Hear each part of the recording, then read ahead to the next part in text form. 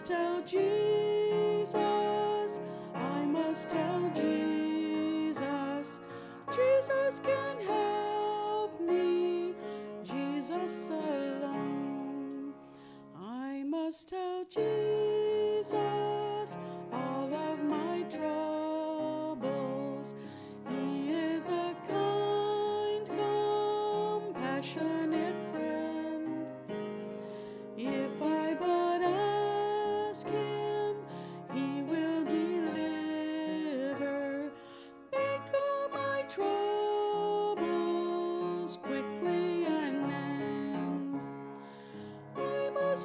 must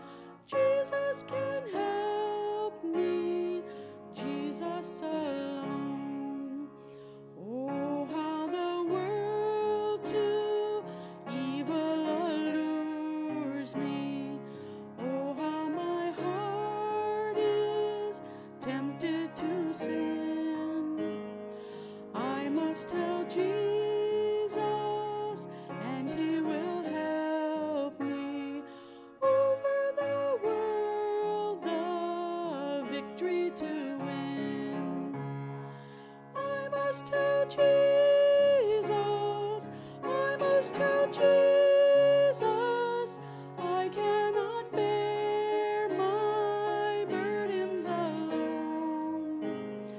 I must tell Jesus, I must tell Jesus,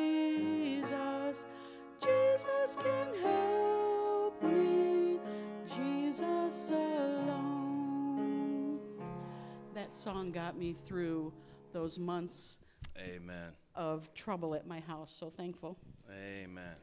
That's good. Amen. Sometimes you get to the point where you must tell Jesus, right? It's too much. You can't handle it. Drive you crazy. You're carrying it around in your head and your mind, and it's I gotta tell I gotta tell somebody, and you know that just telling somebody else, human being, it's not gonna carry the load uh, that you that you really need. So praise the Lord. Um, you can remain seated. Let's uh, turn to Romans in chapter 8. Romans in chapter 8. Romans in chapter 8. Romans in chapter 8.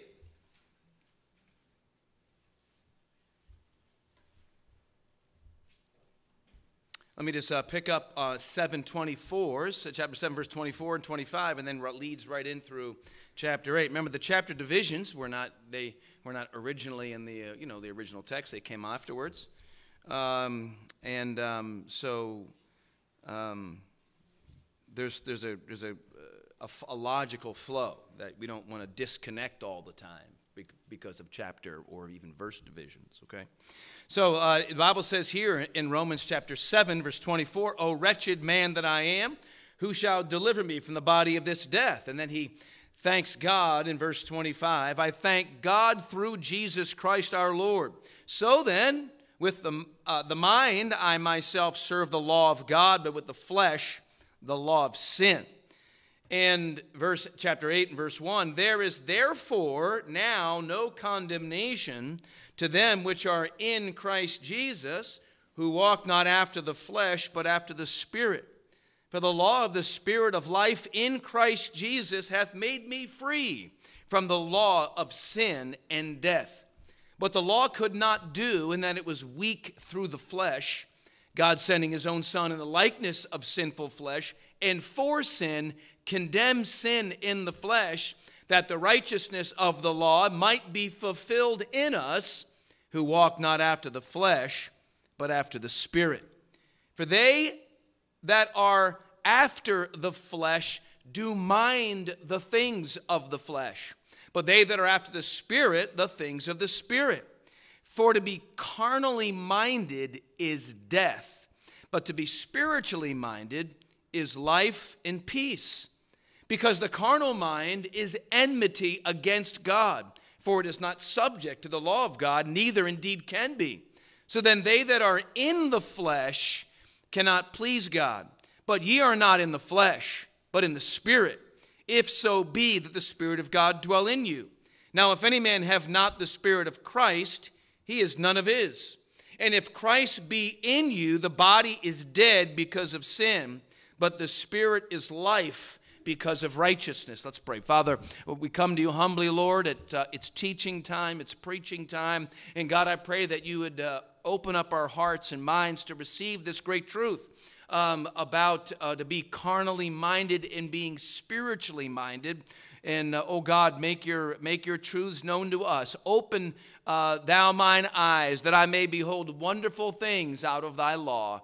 We love you and we ask it in Jesus' name. Amen and amen. Uh, does anyone did not get a handout? Raise your hand up if you didn't get a handout. Um, so I just wanted to. Um, uh, we started uh, uh, Roman numeral one, the new law, and then the uh, letter A what we dealt with last week. So uh, let me just finish up with B and C by way of uh, review, and then go on to the next portion of Scripture. So as we're, as you know, in Romans six, seven, and eight, we are dealing with deliverance from sin, from the power of sin, from the presence of sin in our life and uh, God has laid it out. There's uh, teaching on it, there's explanation uh, on how and what we need to think about and have information in our hearts and minds. But then there's some things that we need to do also, not just you know believe on these things. That that's part of it. Learn this and believe it, but also do something about it. And uh, so we've gone over some things, um, and certainly in uh, as we go from chapter seven to chapter eight, uh, we see that we are dealing with uh, the experience of the Christian life and, and the, the, the freedom and the victory in Christ that He provides. Uh, and this is sort of uh, catapulted, if you would, from that experience in verse 24 where He's crying out, O wretched man that I am, who shall deliver me from the body of this death? And that is the reality of indwelling sin in our bodies. And even though we want to do good, sin is present with me. It's in my body. And I, I, I want to resist, but I still have uh, this desire to do wrong. But, but I, I enjoy the things of God, but I also enjoy the other things too of the flesh. And, and, this, and you get pulled in different directions, and it drives you crazy sometimes. Amen? Am I the only one that experiences that? Me and Paul? Am I the only one in the room? Amen. Paul and I, excuse me, Miss Patty. The, we're in the presence of a grammarian, okay? And um, so, and then, uh, so this idea, who shall deliver me from the body of this death, that is the essence of what we're dealing with, is being delivered. See, because here's the thing when we get to that idea of carnal, there are carnal Christians. That means you're saved, you're born again, and uh, but you're living after your and i'll get into this in a minute. I just want to start out with you and that you understand these designations. You have a lost person and then you have a saved person. And you have a saved person that might be surrendered to christ abiding in christ. The holy spirit is controlling you right? You're you're boy you're you're delivered amen but there's also folks that are saved but they're sort of still minding the things of the flesh that word flesh means to be is carnal or carnally minded. And so, with that struggle of being saved but carnal, there is this cry that, that Paul uh, uh t- testifies about is cr- the cry is to be delivered. And it's delivered from a lot of things, but it's from yourself. Amen? That delivered from your flesh means delivered from the power of sin that's uh, res- residing in my own body. So that's the scenario that we deal with a lost person and then a saved person. And that saved person can be surrendered or that saved person can be carnal and uh, minding the things of the flesh. So as we get through chapter 8, uh, we see, uh, uh, and remember I, I mentioned in the opening paragraph of part two, the way of deliverance experienced. We had the way of deliverance explained in chapter six and seven, but now it's experienced. Now, now we're getting to some things here, okay? So the way of freedom um, is lived out as an experiential thing. This is not just information. You go to class and you learn a bunch of stuff and you take a test and you're delivered of your sin. Okay? It's not like that, right? This is something that's uh, being a disciple of Christ is not just going to school and learning information, it's being transformed, right? It's about transformation, not just information. Amen? So we need the information to be transformed, but there is this experience that has to take place. And you have to get to that point that, that he got in, in dealing with your own, to be wretched is to be, is to be uh, uh, uh, at the lowest point, is to be sad, to be uh, uh, frustrated and miserable. Amen? I remember Pastor Cadana used to say, you know, um, the, the truth, it'll set you free, but first it'll make you miserable. Right? The truth will set you free, right? But first, it'll make you miserable. And you got to get miserable to understand the reality of the situation you're in. To be able to say, okay, I'm going to experience deliverance, and here we go. And uh, he answers, I thank God through Jesus Christ our Lord. And then he says this, this law. He goes, He understands, with my mind I serve the law of God, with the flesh the law of sin. Now, this new law in chapter 8, verses 1 through 4, first of all, we see there's no more condemnation for sin. And, and again, remember I, I, I mentioned last week that this is not just condemnation for the penalty of sin, meaning uh, being saved or justified or, or uh, going to, we're, we're not saved. He's not just dealing with salvation here, okay? He's dealing with the results of abiding sin in your life and doing wrong even as a saved person. I mentioned last week the position possessed is you're in Christ. If you're in Christ, you're saved. If you're in Adam, you're lost. And that's it. That's how humanity is divided, okay? And um, so we are saved from the condemnation of the penalty of sin. Well, certainly. We don't have to stand before God and, and face the consequence of our sin. But also, uh, we get delivered and we experience the deliverance of self condemnation. That means when I do wrong, I castigate myself. I get frustrated with myself. I get angry with myself. And we condemn ourselves in our own minds, in our own hearts. And, um, and uh, so that's that wretchedness that he's talking about. It's, the, it's being delivered from that wretchedness. There, there's deliverance from the power of sin, but then there's the what the outcome of uh, yielding to that sin is self misery, self loathing. That old slough of despond, as old John Bunyan explained in Pilgrim's Progress. Self condemnation, miserable, just just whipping yourself in your own mind. Ah, oh, looking at the mirror and going, what a loser. That's a tough place to be, amen. There's a lot of that, by the way, uh, that uh, uh, motivates uh, some aspects of mental illness. And um, but it's but this idea, notice it says, therefore, there's therefore now no condemnation to them which are in Christ Jesus who walk not after the flesh, but after the Spirit. So, um, so we are free. So there's not there's no more condemnation for sin, not just the penalty of it, but the consequences of yielding to it as a saved person. All right, does that make sense? What I'm trying to say tonight? And then there's no more control by sin. This is new material here in verse 2. For the law of the Spirit of life in Christ Jesus hath made me free from the law of sin and death. So, this new law, there's a new law and there's a new Lord, and then there's a new life. And through this chapter, that's how this chapter is divided into three different parts. But this new law, man, this new law is, is here's the new law it's the law of the Spirit of life in Christ. which hath made me free from the law of sin and death. This is exciting stuff.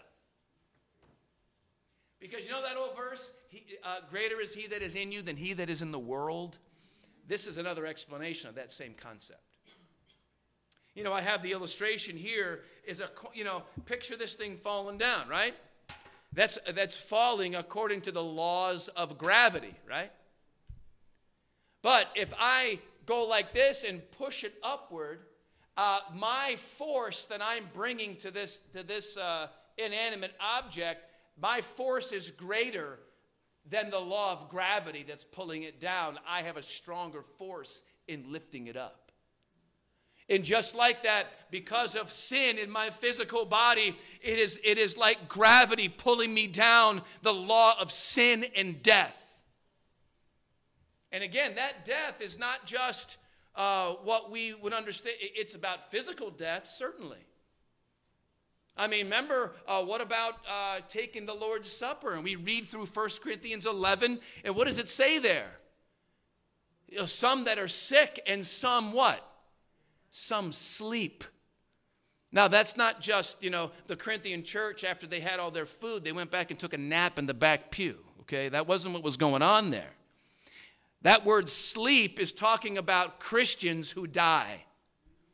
And the idea of sleep is that they're going to be resurrected under the, you know, the, res, uh, you know, the resurrection unto life in the presence of God. Now watch. So, so, and again, not to go through in 1 Corinthians 11 verse by verse, but you remember uh, the warnings of to take the Lord's Supper. Um, uh, what's the word? Un. What is it? Unworthily. Thank you.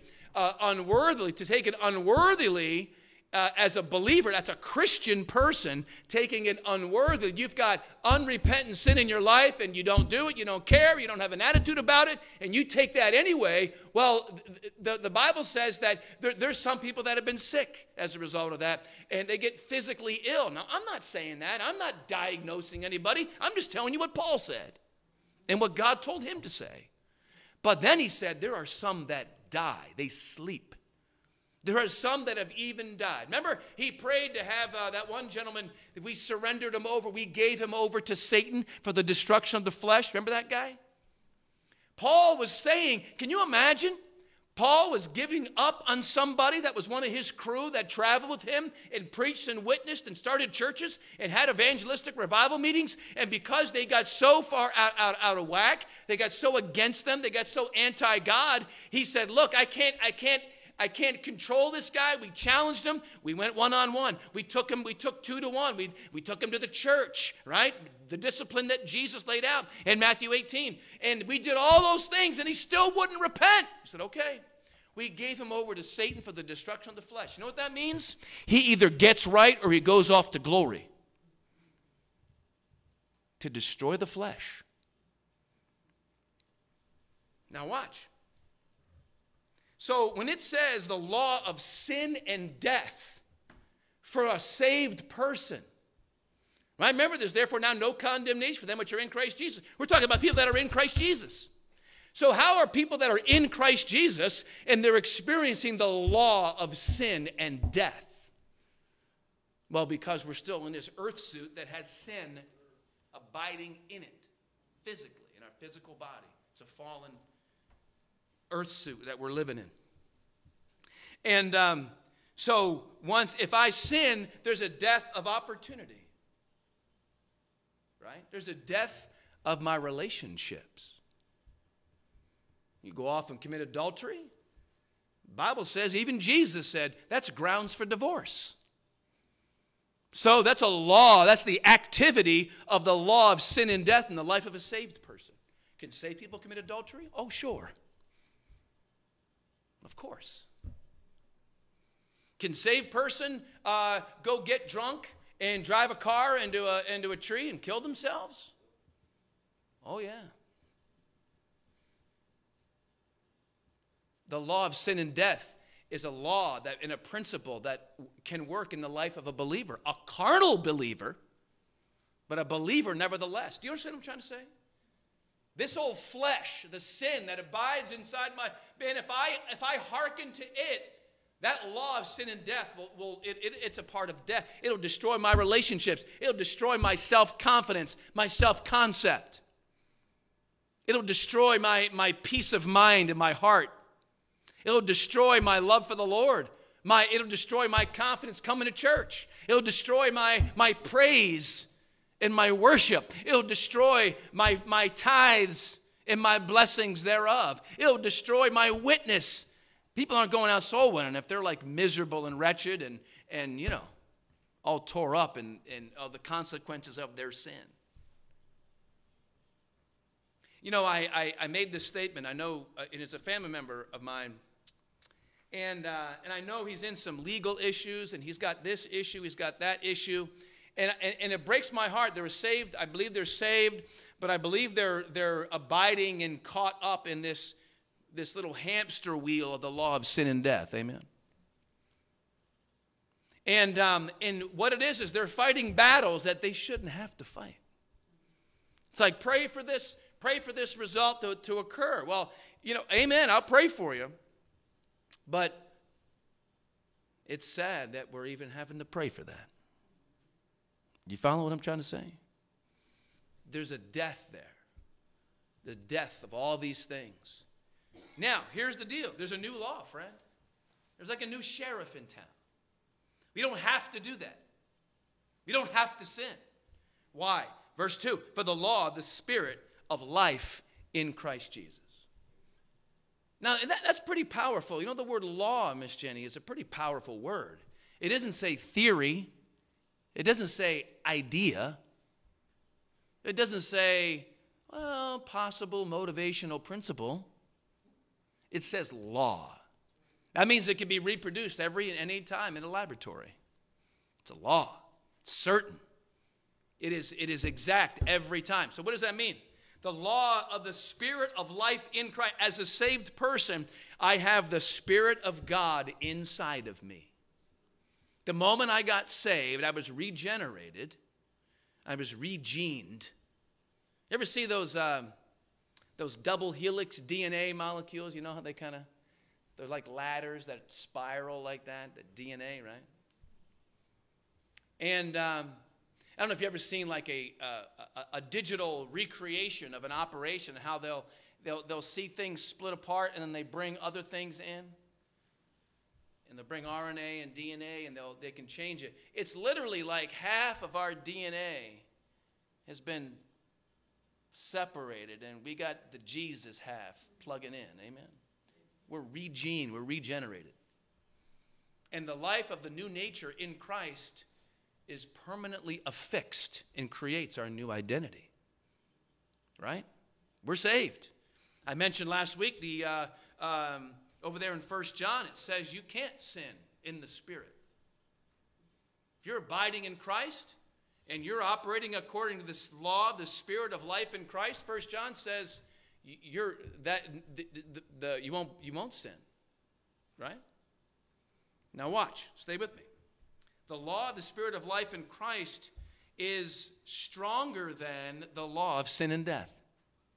You, it isn't just you and your mind creating willpower to overcome the law of sin and death in your body, because it isn't the law of a positive thinking. Uh, this isn't Norman Vincent Peale. This is Paul the Apostle. Amen. I'm not against those guys, and they got some good stuff, I'm sure.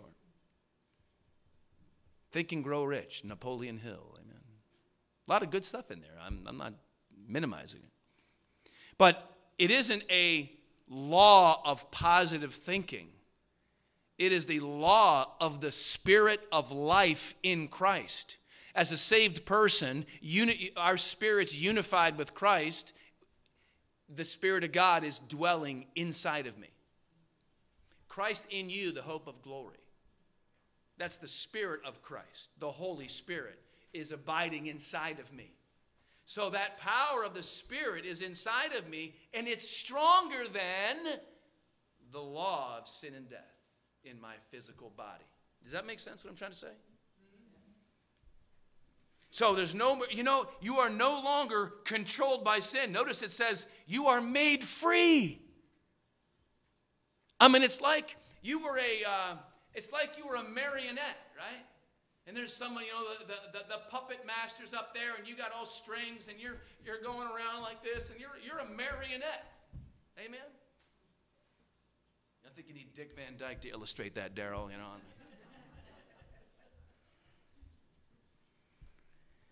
And, um, but you know what? It's like, it's like once you get saved, Jesus comes along and just snips all the strings.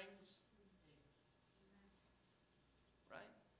And the law of the spirit of life in Christ inside of you is, is, is, is stronger than that. Now, you might look up for that hand and want to kind of reattach them, and, but I kind of like going like this. Can you, like, you know, you might do that. That's a carnal Christian being saved and set free, but still wanting to sort of abide in the, in the, uh, the flesh and the principles there. But you don't have to. You're not controlled by it. Does that make sense? You're set free. The law of the Spirit of Christ, life in Christ, has set you free from the law of sin and death. Now look at verse 3. So there's no more condemnation for sin. You don't have to sin and be miserable about it as a Christian. There's no more control by sin. It's not, it's, it's not a doomed destiny of, of uh, discouragement and depression by uh, uh giving in to the, to the uh, desires of your flesh and, and, uh, and sinful flesh. You don't have to do that. You're not under control of it anymore. And then there's no more continuance of it. Look at verse 3 and 4. It says, For what the law could not do, in that it was weak through the flesh, God sending his own son, likeness of sinful flesh, and for sin, condemned sin in the flesh. That the righteousness of the law might be fulfilled in us. Okay, so what, what, could, the, what, what, what could the law not do? Let me ask you that. What could the law, what is he referring to? The law, what the law could not do. You know what the law couldn't do? We dealt all this with chapter 7. The law can't make you righteous. The law can't invigorate you in fight against sin inside your body. Matter of fact, when you go to verse chapter 7, it says it makes it worse. Remember, it revives sin inside of me by trying to obey the law. Now, there's nothing wrong with the law. The law is spiritual, but I am carnal, sold under sin. Remember that? So, what the law could not do is make me righteous sanctify me. The law can't sanctify me because I have to first be delivered. I got to be saved and then I got to be delivered. The law can't make me perfect. The law can't make me righteous. Why? Because of the flesh. It's too weak. Because the weakness of my flesh, I can't abide, I can't be perfect all the time. I can't be righteous in my own my own because my body has sin in it. Now watch. But here's his solution. Again, the solution in verse 3 God sent his own son in likeness of sinful flesh. Remember, the incarnation. God, like what we celebrate around Christmas time, right? So God uh, came and uh, uh, uh Mary uh, gave birth to the no human father, gave birth to the, through the, the Holy Spirit, and uh, to Jesus, who was a perfect, fully human sinless human, but sinless. In the likeness of sinful flesh, the like he wasn't sin, the, he wasn't sin, he wasn't sinful, but it was in the likeness of sinful flesh, the, of human of human physical, uh, the human physical body. Now watch, and then in that physical body, as I mentioned this morning on the cross, he took all the, the penalty of sin in that physical body. He endured the physical pain in all of the punishment in that physical body. And when he died, what he did is he condemned sin in the flesh. While he was a physical human being, he condemned sin because he absorbed the reality of it when he died and was buried and rose again in a glorified body. Now, watch. It's a continuation, verse 3 or verse 4. That the righteousness of the law might be fulfilled in us who walk not after the flesh, but after the Spirit. So, actually, it is a matter of that now that we're saved, now we can actually fulfill the righteousness of the law because we're not doing it just as a result of our human will and that sin principle rises up you know, I want to do good, but sin is with me, and I want to do right. Uh, the Bible says, "Don't covet your neighbor." I'm not going to covet, but then I want to covet. And the Bible over here says, "Honor your parents." I want to honor my parents, but they're not perfect, and they get jerky sometimes. you know, so I want to do right, but then it rises up, and I want to do right, and then it rises up. I don't want to do wrong, but then it rises up. But so that's how the the law alone makes is too weak for me to become righteous. So, but now that Jesus died, bore that sin in himself and the penalty of it, and condemned sin in the flesh, rose again, and then he ascended up into heaven, and he said, I'm going to send you another comforter who shall be in you, the Spirit of Christ. And when the Spirit of Christ now resides and abides within us as a New Testament believer, now that that Spirit inside of us, now, if I'm abiding in Christ, I can obey the law and I can fulfill the righteousness that the law is intended to do. Does that make sense? Who walk not after the flesh, but after the spirit. Okay, so for time's sake, let me just let me just uh, make this identify. I'm going to identify something here real quick, and then we'll be done tonight. So there's the new. I'm just going to introduce the next part, and we'll be done. So we have the new law. So there's a new law. It's the new, it's the law of the life of the, the law of the of the, the I'm getting confused. The law of the say life of the spirit. Er, the spirit of life in Christ, right? That's a new law. That's inside of me. That's stronger than the law of sin and death. That's also in, in, in my physical body. Now watch. But look, notice it says who walk not after the there's a little condition there who walk not after the flesh but after the spirit. So now we get into the new lord. There's new law but now there's a new lord. And that new lord is it's god in, in me. Christ in you the hope of glory. So now god is inside of me. The lord god of heaven and earth that created the earth in seven days resides inside of me. And it's a mystery okay? I don't understand all this stuff but it's a mystery. There's a mystery of godliness. There's a, many different mysteries throughout the New Testament. I think the word mystery actually occurs 27 times in the New Testament. It refers to several different things. But notice it says that they are that to mind the things of the flesh. But there's a difference. Hear me out, and I'll be done. Listen to me. So there's things between between walking after the flesh and being in the flesh walking after the Spirit or being in the Spirit. Because if you're in the flesh, that means you're lost. Okay, now let's look at it first for a second. Okay, look, look at verse 5. For they that are after the flesh do mind the things of the flesh. We're still, we're still talking about a saved person here. And what they're doing is they're thinking after the flesh. They're going after. They're thinking after. They're longing after. They're acting after. Are you with me? They're grasping after the flesh, fleshly things. You with me? Saved person, carnal. They're, and they, uh, but they that are after the Spirit, they're, they're grasping after the things of the Spirit. They're minding, they're thinking about it, they're uh, meditating upon it, they're making plans, they're acting on it, the things of the Spirit. That's a saved person. We could do either one, right? Now watch. Look at verse 6. And this is just a continuation. For to be carnally minded is death, but to be spiritually minded is life and peace. Right? Now watch. Look at verse 7. Because the carnal mind is enmity against God, for it is not subject to the law of God, neither indeed can be. We're still talking about a saved person who's carnal. Okay? But now watch. I just want I'm just going to clarify this designation and then we'll be done. No, but look at verse 8. So then, they that are in the flesh cannot please God. Ding, ding, ding, ding, ding. Now it's changed. The preposition is changed after the flesh to in the flesh. Now, watch. But ye are not in the flesh. But wait a minute, I thought he was just saying, You that are saved, you're minding the things of the flesh. But yeah, he's saying, You saved person, you can mind the things of the flesh, be carnally minded. But he's like, but he's saying, but wait a minute, wait a minute. He's changing gears here. And he's saying, but ye are not in the flesh, but in the spirit. So that word in the flesh means lost. You are lost.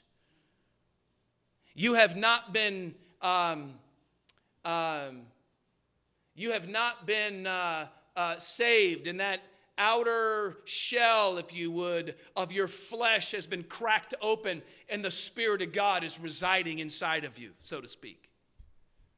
No, you're in the flesh. You are bound to the flesh. You've never been saved. Now, watch, stay with me. But you're not in the flesh, but in the Spirit. If so be the Spirit of God dwell in you.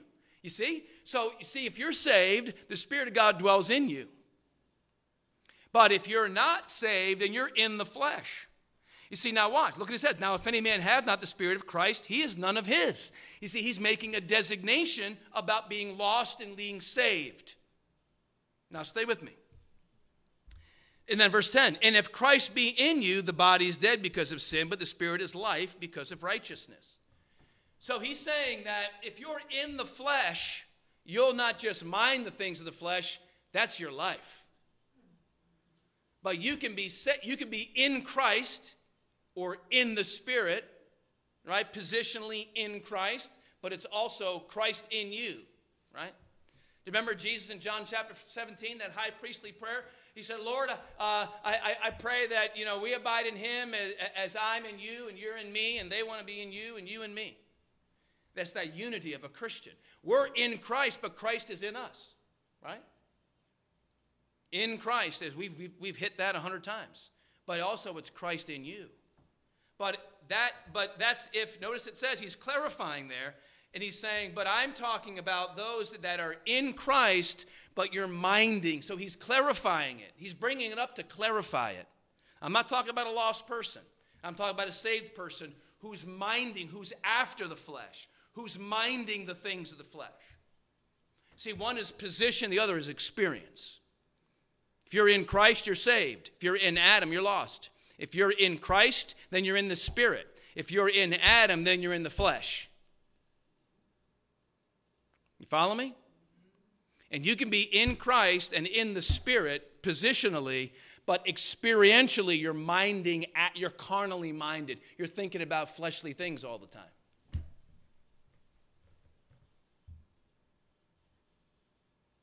Because he says that the Christ, if Christ be in you, the body is dead. That means that the body of sin is dead. We have victory over it. Now, it still plays games and you still are carnally minded but it has been the, the man it's like the drain has been unplugged and all of its power has been drained drain, pulled down the drain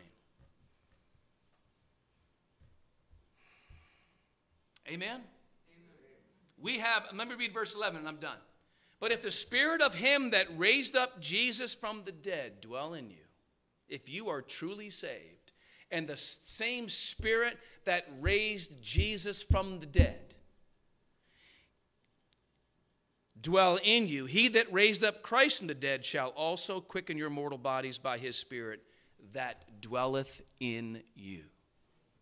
The same Spirit, Genesis chapter 1, verse 2, that moved across the face of the waters. Are you with me? The earth was without form and void, and darkness upon the face of the deep.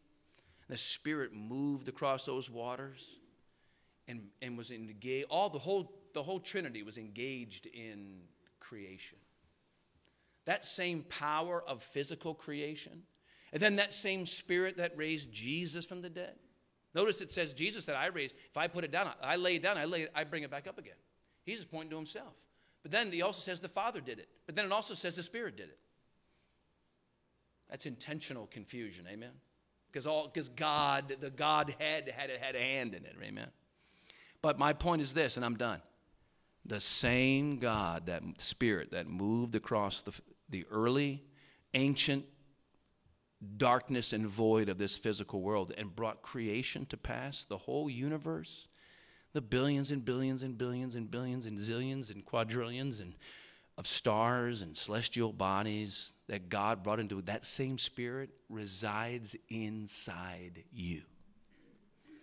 And not just creation, but resurrection. Physically dead Jesus' body was, he said, it is finished, bowed his head, put his body in the grave. And that same spirit that came and, and broke through the whole system of life and death and broke through and raised him from the dead, that same spirit is abiding inside of you. Amen. Makes you look at the, the, those petty issues that we haven't given up yet a little differently.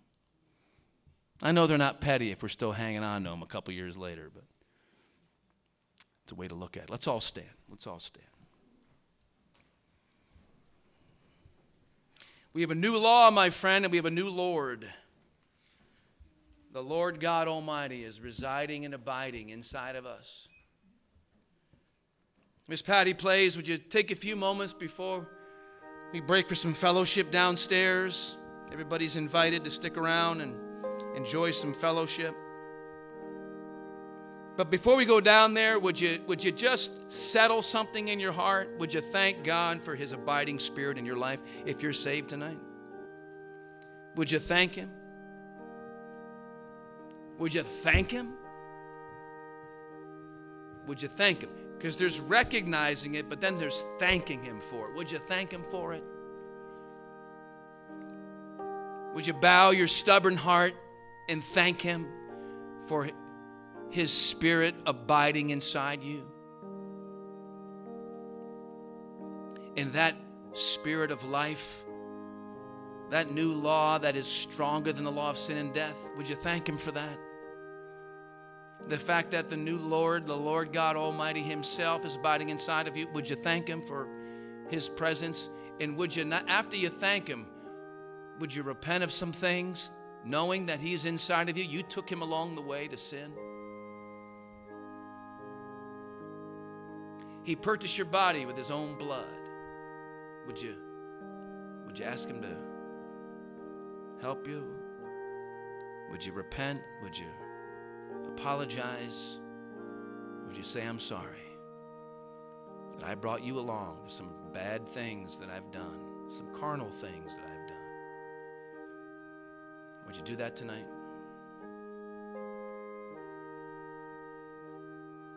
God's given an answer to that. Who shall deliver me from the body of this death? Paul, we got an answer for you. His name is Jesus, and He sent His Spirit inside of us. Greater is He that is in you than He, not only that is in the world, but He that is in your own flesh. Oh, Mr. Sin is still stuck to your physical body.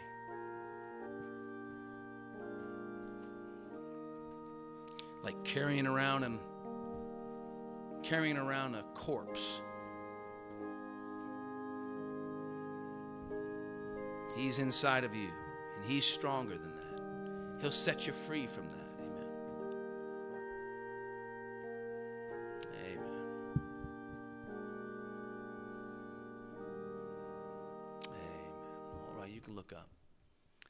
Thank you so much uh, for um, listening tonight. I appreciate your patience and your uh, understanding and i really pray that, that you'd meditate on these things. And when you go back and read it and read it again and read it again and it, will just the truths and will just be impacting you. You know we're not going to do this.